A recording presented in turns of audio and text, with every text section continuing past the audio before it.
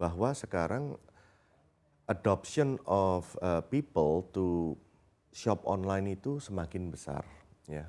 Uh, tetapi kalau secara ekonomi dan lain-lain sebetulnya menurut kami 2018 itu udah malahan lebih bagus dibanding 2017.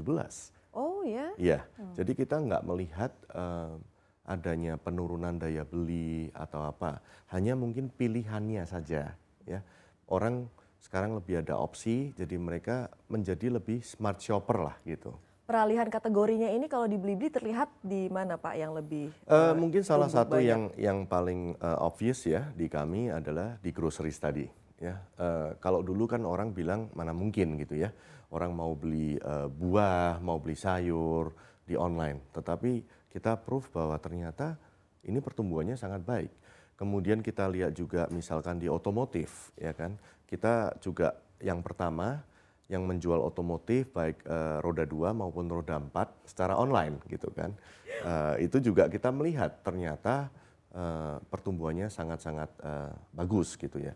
Dan ketiga adalah digital product. Jadi orang menggunakan platform seperti blibli.com untuk melakukan atau melakukan pembelian produk-produk digital voucher games, kemudian isi pulsa, uh, bayar itu apa PLN, uh, eh, PAM dan lain-lain gitu. Oh iya. Ya. Kalau Bapak tadi katakan tidak melihat itu lesu, kemudian proyeksi Bapak untuk uh, 2019 ini seperti apa?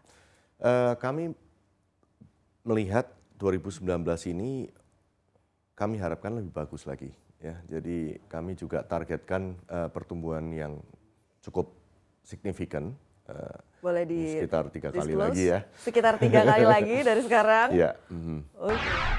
Untuk menyaksikan video lengkapnya silakan klik link di deskripsi di bawah ini. Saya Alim Wiratmaja, CNBC Indonesia, Beyond Business.